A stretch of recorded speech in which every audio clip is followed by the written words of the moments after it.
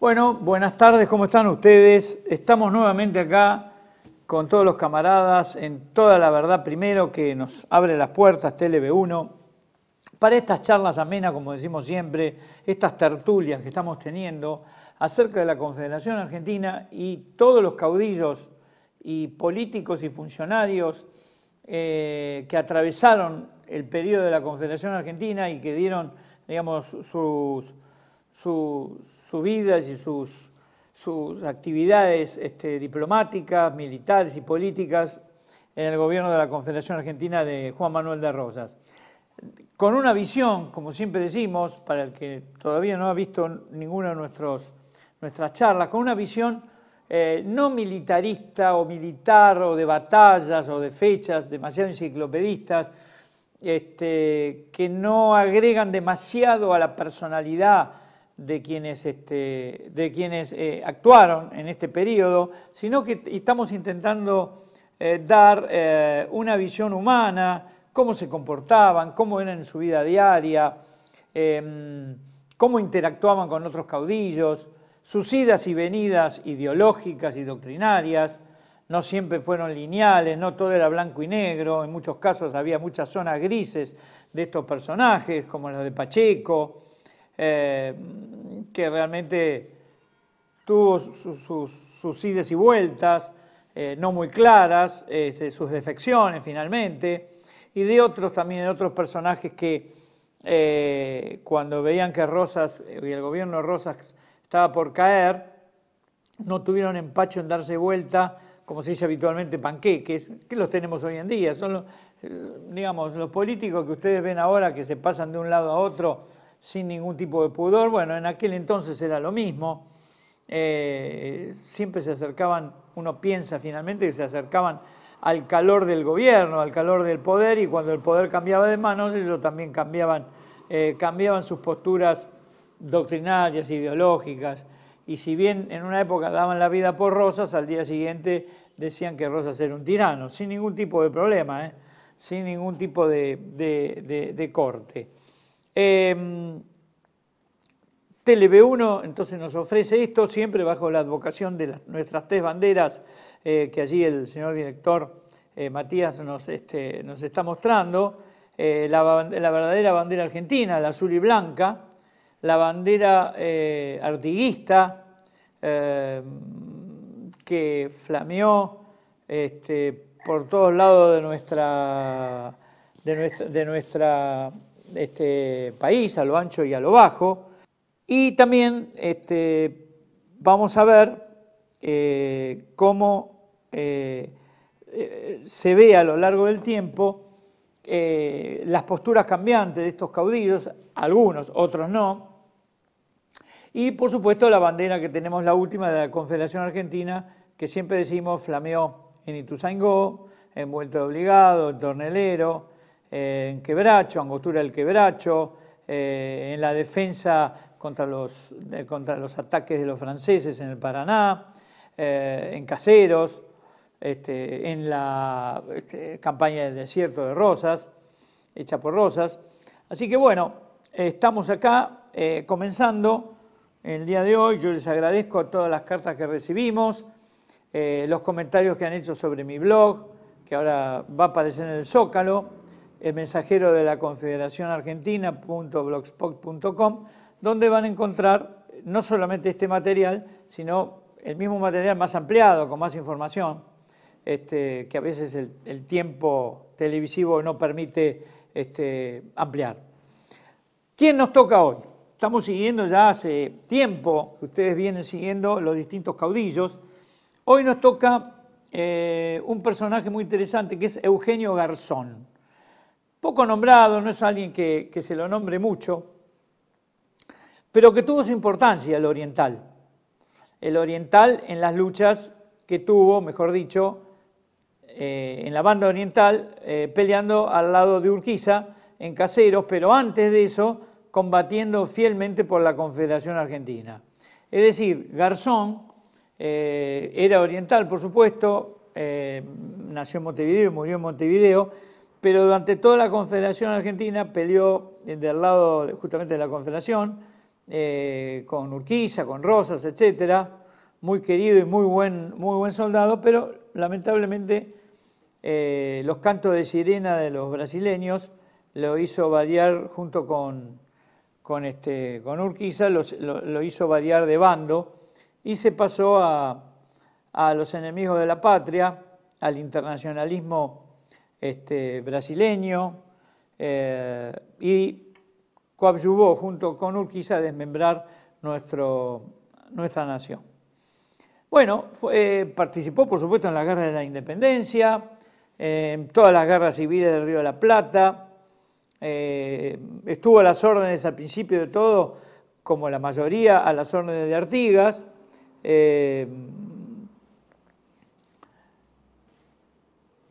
Combatió muchas veces, muchos años, contra aquellos que después fueron sus socios, sus aliados, los portugueses o brasileños, si se quiere.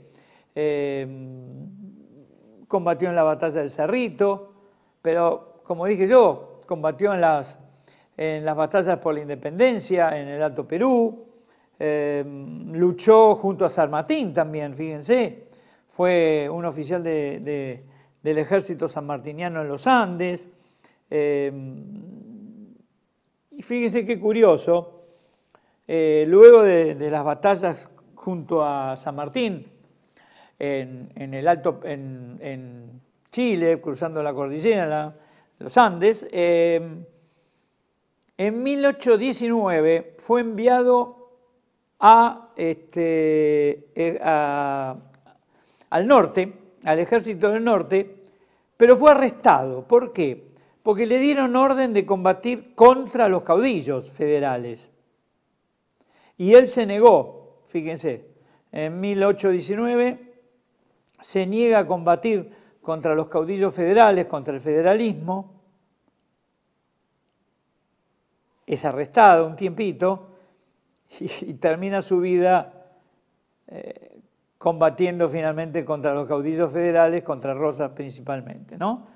Aliándose contra aquellos que al principio él se negaba. Hizo, bueno, ya dijimos, hizo la campaña del Perú, eh, lo, liberan finalmente, eh, vuelve a estar en el ejército, eh, fue granadero, estuvo en el regimiento de granaderos a caballo, Simón Bolívar, viendo su capacidad, lo asciende a coronel en su momento, luego vuelve a Buenos Aires, estuvo también, fíjense, estuvo peleando en el norte contra los realistas Estuvo peleando en, este, junto a San Martín como oficial, cruzando los Andes y en las batallas que tuvo San Martín del otro lado de la cordillera.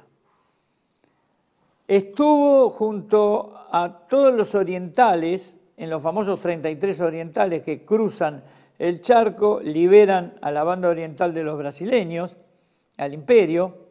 Estuvo en Ituzaingó con el ejército de nuestro 1825 eh, y, participa en la batalla de Ituzaingó contra los portugueses, contra el imperio brasileño, imperio portugués.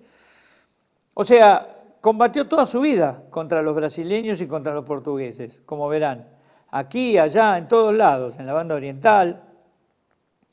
Eh, estuvo, como dijimos, en Ituzaingó, eh, fue ministro de guerra de Rondó y de La Valleja, allá en la banda oriental.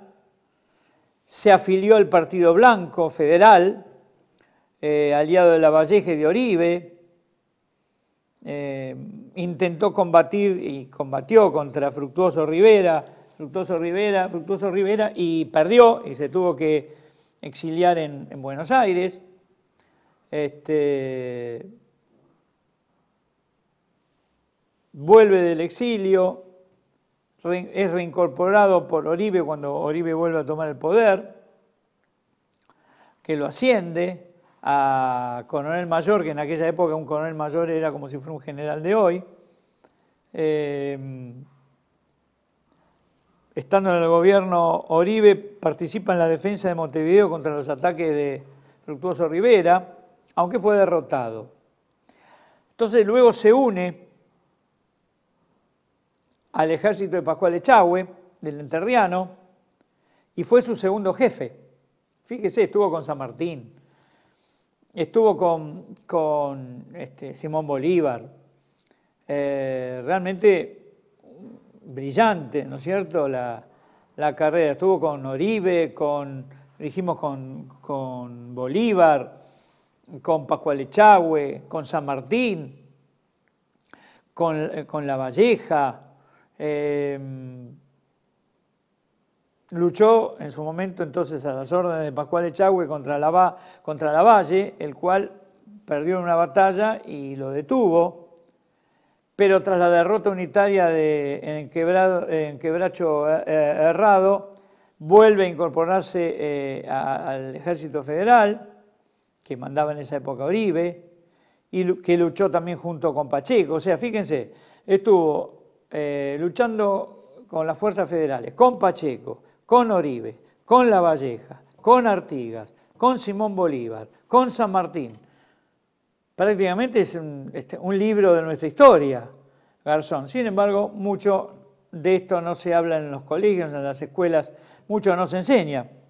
Eh, también fue muy amigo Garzón de Ibarra, del santiaguino Ibarra, de Juan Felipe Ibarra, y era el nexo, Garzón, eh, entre Ibarra y Urquiza, porque Ibarra era, porque Garzón era muy amigo del santiagueño, del gobernador de Santiago del Estero Ibarra, y muy amigo de Urquiza. Urquiza y Ibarra físicamente no se conocieron nunca, pero hubo una profusa cantidad de, de correspondencia entre ellos. En aquella época obviamente no había internet, no había teléfono, entonces era todo a través de las cartas. Y el nexo era Garzón.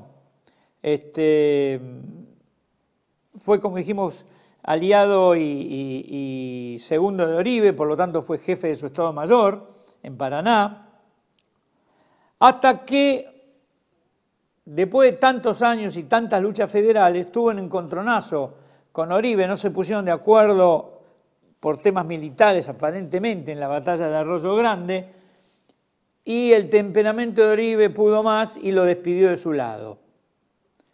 Entonces pasó de combatir al lado de Oribe, federal obviamente, pasó a depender de Urquiza, también federal obviamente en su momento, durante años, muchísimos años, comandando las fuerzas entre Riana sobre la costa del río Uruguay, cerca de su, de su terruño. Fíjense todo lo que estamos charlando sobre Garzón, la vida de Garzón. Eh, páginas brillantes. Este, en los comentarios que yo estoy haciendo pareciera que estuviera en todos lados a la misma vez. En los Andes, en el norte con Bolívar, con San Martín en los Andes, con Pacheco, con Oribe, con La Valleja, con Urquiza, estuvo con todos, todos federales. Eh, era muy querido, eh, pero los cantos de sirena pudieron más y aquel hombre como Garzón, insobornable, fiel a la Federación Argentina, a la Confederación Argentina, cambia de bando. No se sabe bien qué le dijeron, que el país tenía que constituirse, que etcétera, que los brasileños ahora pasaban a ser amigos después de él haberlo combatido toda su vida, de Dituzangó, todos los vueltos obligados, en todos lados. Entonces lo secundó a Urquiza en el pronunciamiento contra Juan Manuel de Rosas y obviamente, dada su capacidad, fue uno de los militares eh, más sabios y más este, eh, útiles y más capaces en las fuerzas urquicistas, en la, cuando él, digamos, cuando Urquiza avanza sobre la banda oriental este, para combatir a, Oribe desde atrás, ¿no? desde la retaguardia.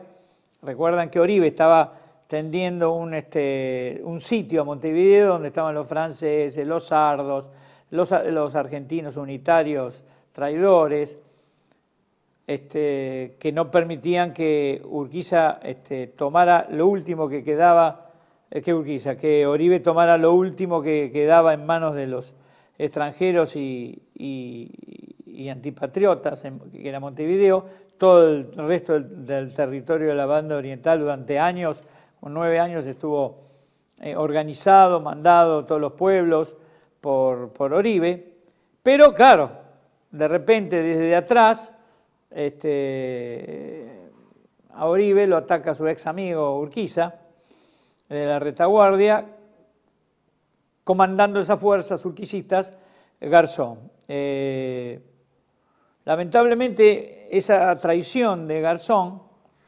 a su patria, a Oribe, a Rosas, a los federales, fue seguida por muchos otros oficiales, también del ejército de, Oribe, este, del presidente de Oribe, ¿por qué? No por una cuestión ideológica, estaban cansados de los largos años del sitio a Montevideo, harapientos, sin un peso, eh, muertos de hambre, la verdad, no, no, este, sin demasiado armamento.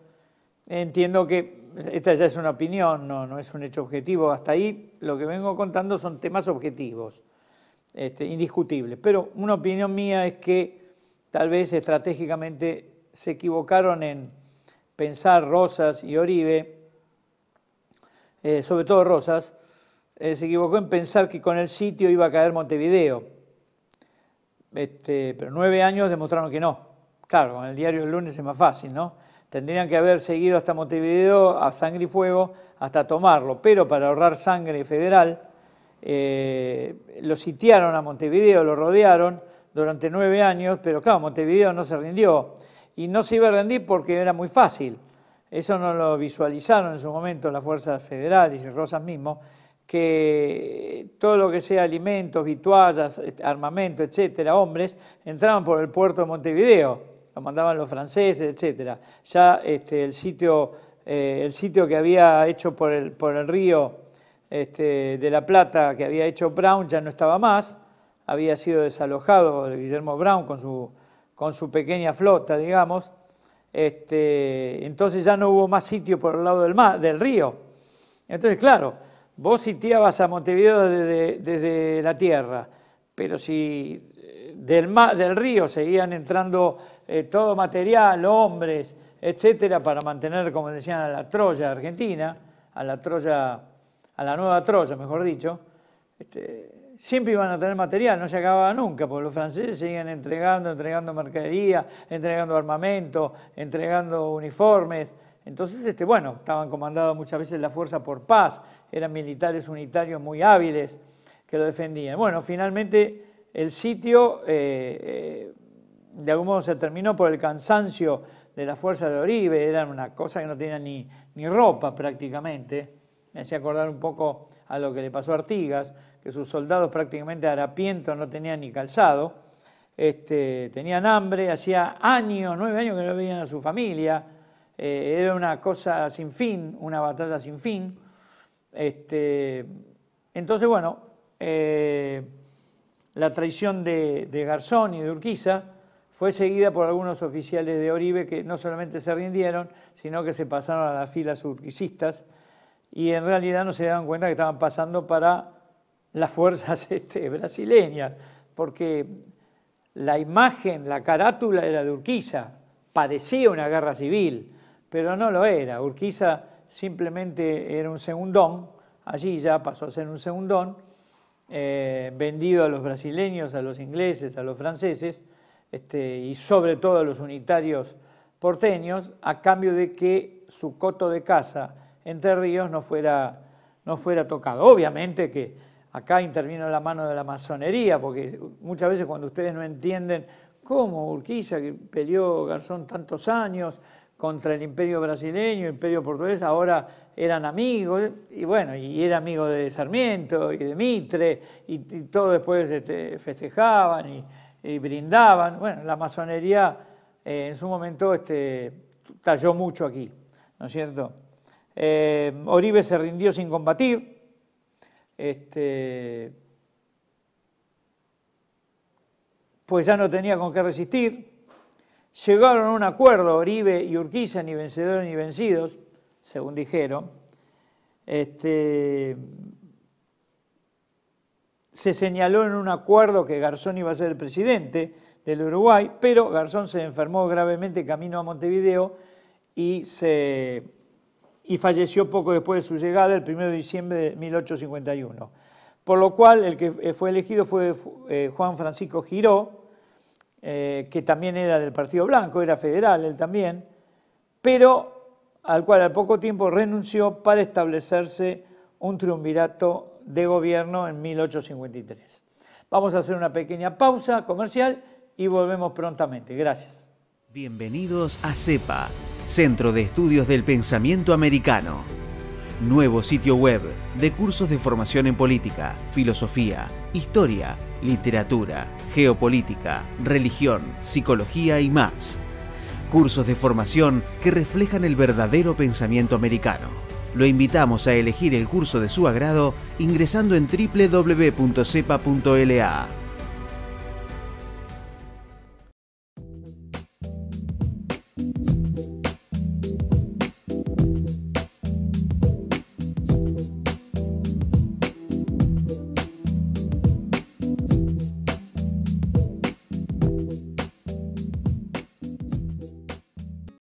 siempre la verdad primero tiene un precio. Dependemos de tu ayuda. TLB1. Toda la verdad primero.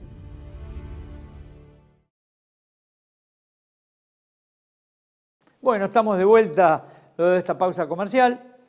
Seguimos este, con la descripción humana de los caudillos. Bueno, vimos Garzón toda su vida este, combatiendo a los unitarios y combatiendo al Brasil en todos lados donde pudo, a los realistas primero, después al, imperio de los Braganza, este, hasta terminar este, traicionando a, su patria, traicionando a Oribe, traicionando a los federales y aliándose justamente con lo que combatió toda su vida, tratando de que los brasileños no nos invadieran, a nosotros, a la banda oriental, que no tomaran el Paraná y con el tema de la la libertad de navegación de los ríos, etc. Y terminó siendo un subordinado justamente de ellos, porque de algún modo Urquiza era un subordinado del imperio este, portugués, bueno, brasileño ya, y, por lo tanto, por carácter transitivo también.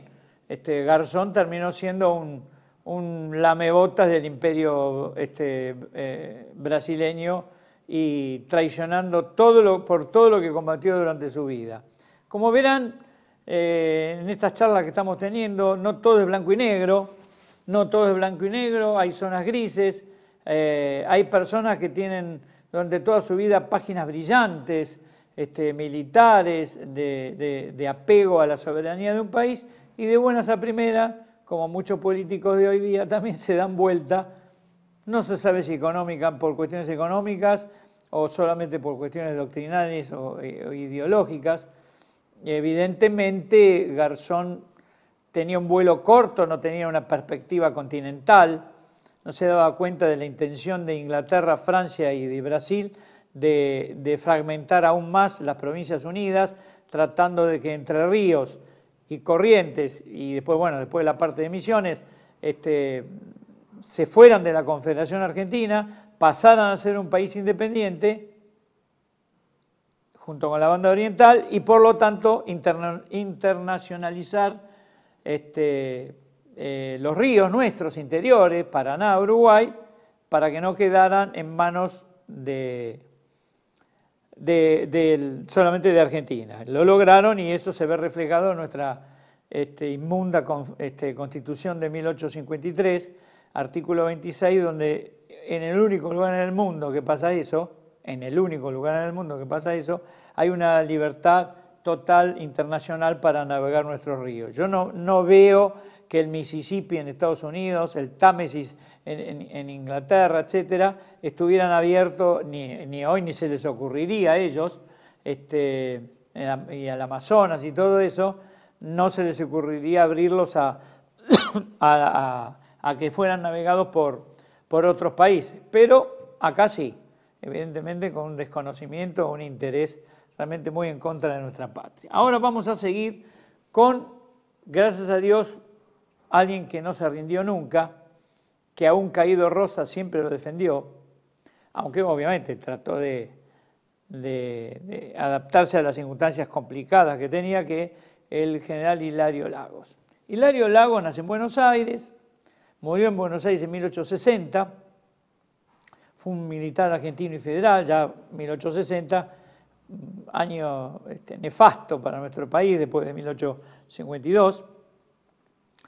Peleó como tantos otros este, contra el Brasil en Ituzaingó, fue segundo de Ángel Pacheco, participó en las campañas del desierto con Juan Manuel de Rosas en 1833, eh, luchó contra los unitarios de Lavalle, a órdenes estuvo eh, también a, órdenes de que en su momento Garzón, bueno, ahora Hilario Lago también eh, combatió bajo las órdenes de Oribe, este, mm, peleó junto a Pacheco, junto a Oribe, junto a Garzón, gran coraje en, el campo de batalla, muy buen militar, eh, muy caballero, a diferencia por ahí de, otros jefes militares, tantos unitarios y, federales, bastante sanguinarios algunos, Hilario Lagos era un caballero, trataba de, ahorrar sangre, trataba de, ser justo con,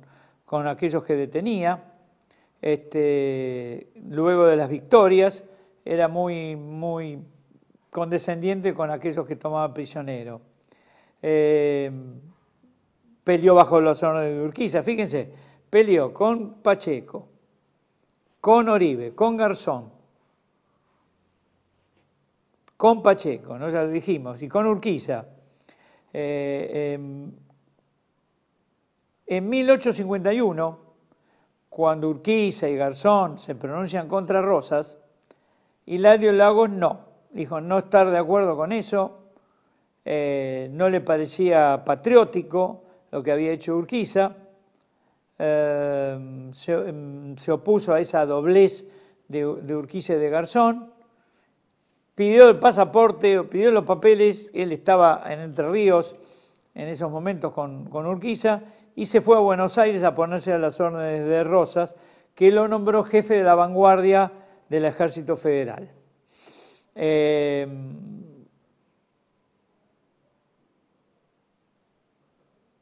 él de ninguna manera aceptó ponerse en contra del restaurador. Y en 18, eh, digamos, este, pide los pasaportes, se va a Buenos Aires y él dice, literal, lo voy a leer, le dice a Urquiza, los de los sagrados deberes en que estoy para con la patria y para con el general Rosas, y porque así me lo imponen mis sentimientos y mi honor de americano, hace que yo le pida estos documentos y yo me voy a estar al lado de Rosas. Urquiza, eh, haciendo debida este, justicia realmente, podría haberlo puesto preso, pero era tan alto la estima que le tenía a Hilario Lagos, habiéndolo tenido tanto tiempo a su lado y ser un eximio, un caballero. De algún modo, Urquiza, de algún modo, reconoce lo que él no tenía, lealtad. Le reconoce a Lagos su lealtad a su país. O sea que Rosa sabía que estaba traicionando no solamente a Rosa, sino a su propia patria. Urquiza podía ser un traidor, pero no era tonto. Eh, era consciente de su propia traición y este, en un gesto magnánimo le concede el pasaporte y se vuelve a Buenos Aires, o va a Buenos Aires Hilario Lagos. Eh, tuvo fuertes este, encontronazos con Pacheco, eh, porque él notaba en Pacheco, yo no sé si Rosa lo notaba o no, o no podía creerlo, lo que le decían a Rosas, de la cierta doblez que había al final de, cuando se aproximaba el pronunciamiento de Urquiza, cuando se aproximaban las batallas de, caseros, él notó una duplicidad en Pacheco. No quedaba muy claro este, para Lagos este, para dónde apuntaba Pacheco, siendo que durante toda su vida muy amigo Pacheco de Rosas, recordemos, este, creo hasta uno de los pocos que lo tuteaba, eh, él notaba, este, notaba que Pacheco no, no respondía bien, como siempre respondió, no atacaba a Urquiza, eh, renunció Pacheco a, su puesto de, combate el día anterior a Caseros.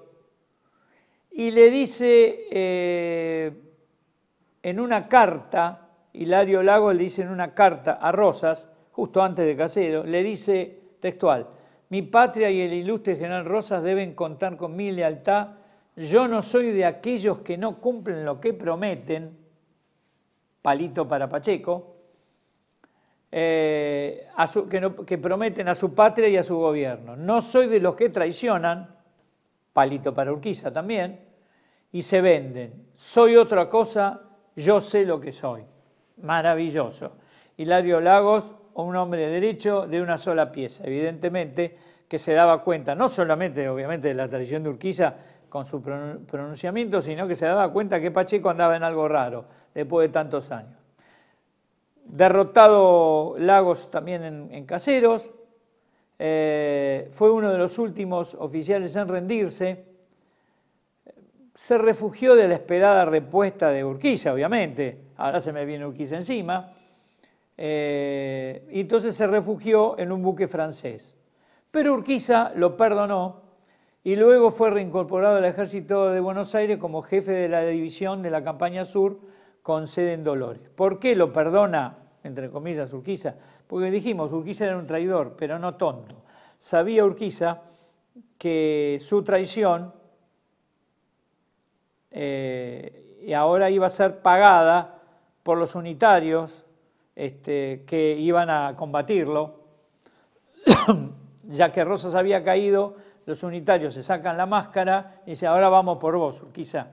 Entonces eh, se dio cuenta Urquiza que necesitaba tener este, socios, este, debía tener este, eh, gente, aliados. Entonces se apoyó mucho en los eh, generales o en los gobernadores del interior, que eran en su momento rosistas, este, pero que eran federales, para tener un apoyo político y militar, porque si no se iba a quedar solo.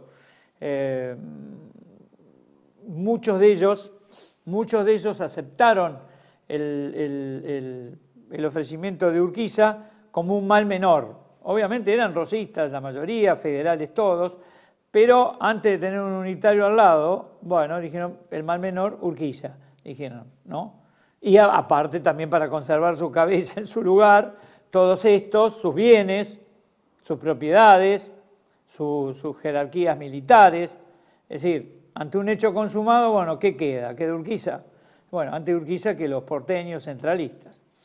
Eh, entonces Lagos, de algún modo, al ser perdonado por Urquiza, digamos, este, eh, con cierto, obviamente, intereses políticos de Urquiza, tampoco era un santo, eh, lo apoyó como un mal menor, lo ayudó con las intenciones de organizar al país federal en el interior, fue al interior a tratar de convencer a los, a los gobernadores. Eh, y en diciembre de 1852, al final del, año en que Casero fue en febrero, esto es diciembre, se une Lagos a otros este, antiguos jefes federales e inician una revolución contra el gobierno porteño eh, centralista, copado por los unitarios, Buenos Aires, y entonces los ataca. Pero bueno, eh, fue rechazado, entre, fue rechazado por, por las armas de Mitre, entonces sitió la ciudad. O sea, toda Buenos Aires, toda la ciudad estaba rodeada y sitiada por estos antiguos jefes federales eh, al mando de, Hilario Lagos.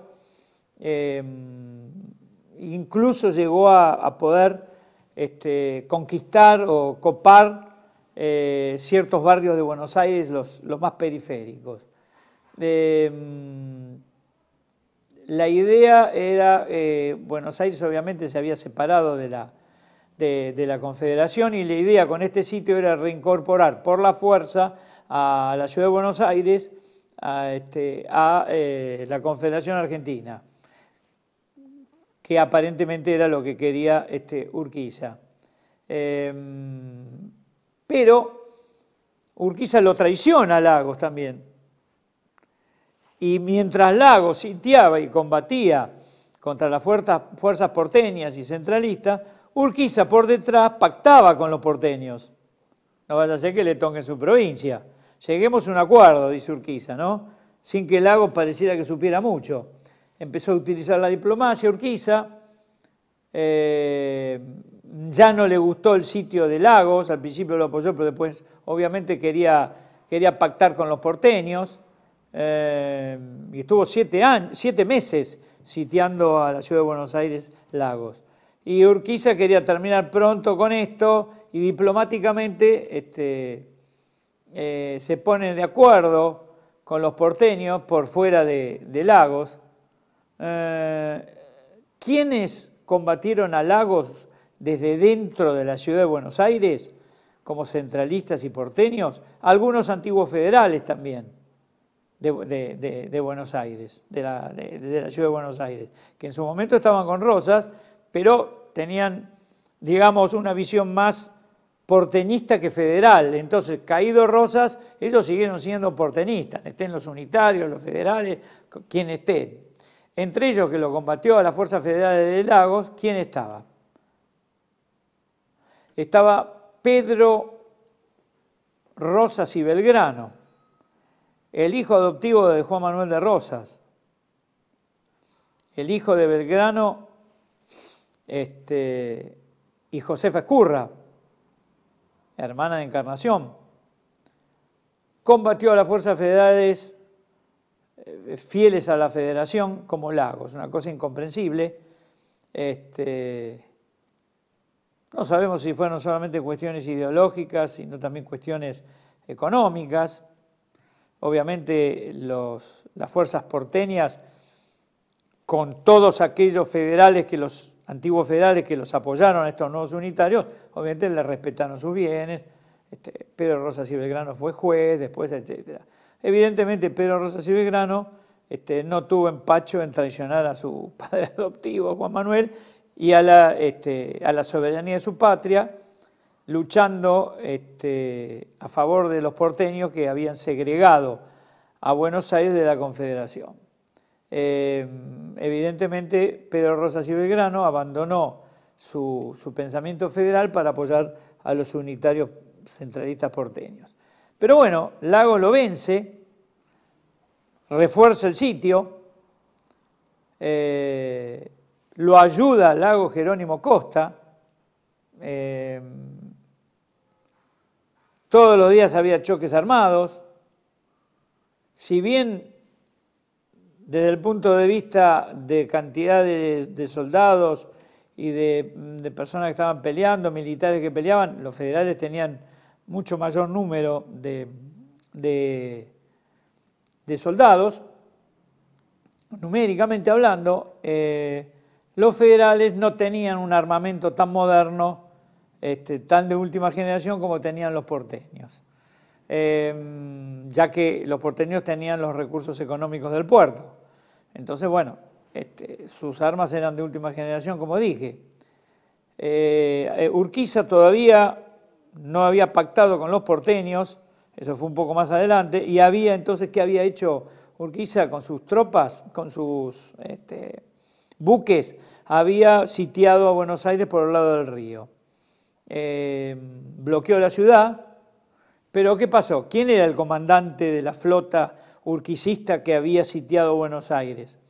Un norteamericano, eh, John Hilstead Coe, eh, que había peleado siempre este, a las órdenes federales, había peleado con Urquiza después, también al lado de Urquiza, pero entre traidores no es, este, no es raro que se traicionen después. Entonces, por unas monedas de oro, famoso, está en todos los libros de historia, este COE entregó toda la flota de Urquiza que estaba sitiando y bloqueando el puerto de Buenos Aires, se le entregó toda íntegra